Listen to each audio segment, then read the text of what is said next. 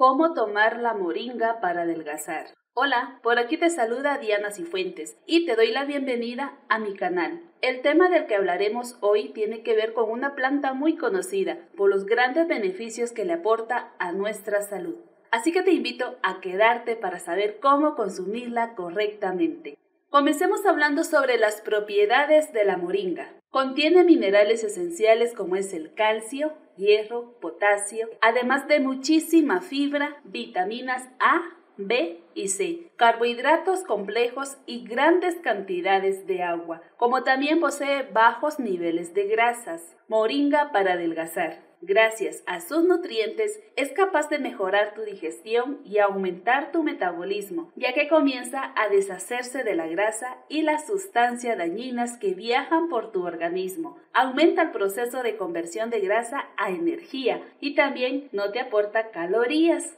Maneras de tomar la moringa. Va desde la preparación de infusiones con el uso de sus hojas o la preparación de su té con sus semillas, hasta su consumo en polvo para algunos platillos a través de cápsulas, extractos o tabletas y que podrás conseguir fácilmente en tiendas naturistas, supermercados o herbolarios. Té de moringa para adelgazar. Primero deberás colocar un recipiente con una taza de agua a fuego lento hasta que comience a hervir. Luego añades un puñado de hojas de moringa y dejas reposar durante 20 minutos. Por último esperas a que enfríe para poder colar el líquido en una taza.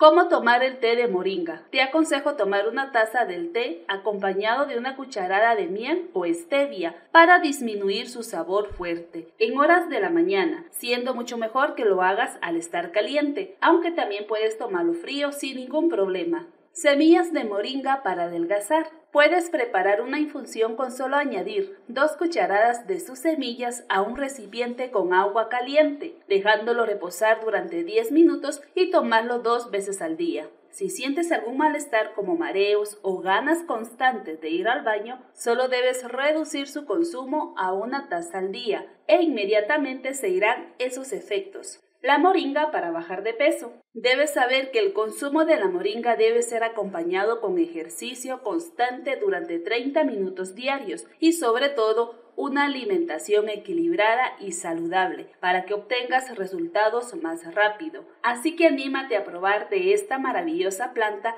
y a disfrutar de sus bondades.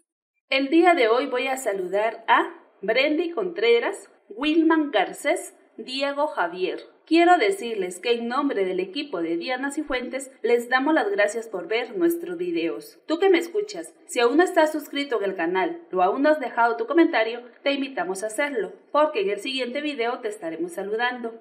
La vida no te quita cosas, te da la oportunidad de ir siendo mejor persona día con día. Hasta luego.